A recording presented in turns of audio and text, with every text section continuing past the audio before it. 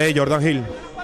a ellos. Falta y falta y no pitan nada, no pitan nada a nosotros, esto no puede continuar así. Ese mismo fue el que allá en Táchira me hicieron el penalti y no lo pitó. Muy localista, las cosas no pueden seguir así. Quizás eh, esa es la molestia del cual lo trae, pero hablamos del buen momento que tiene Wilman Jordan en el campeonato. Un gol eh, que prácticamente estaba solo y totalmente desmarcado, en el cual puede problemarlo viendo el cabeza y le mandó al fondo de las redes.